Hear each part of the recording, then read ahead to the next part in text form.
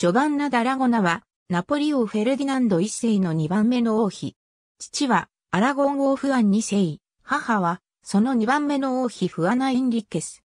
同母兄に、アラゴン王フェルナンド二世がいる。ジョバンナはイタリア語名で、スペイン語名は、フアナ・デ・アラゴン。不王在中の1476年、いとこである、フェルディナンド一世と結婚した。二人の間には一男一女が生まれた。フェルディナンド一世が1494年に死去した後、王位は、繊細イザベラ・ディキアロモンテとの間の長男、アルフォンソ二世が継承したが、翌1495年に死去した。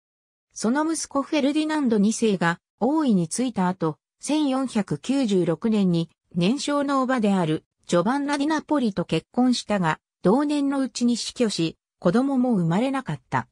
王位はアルフォンソ2世の同母弟、フェデリーコ1世が継承したが、1501年に廃位され、ナポリは一時フランス王ルイ12世の支配下に置かれたが、1504年にジョバンナの兄フェルナンド2世が獲得した。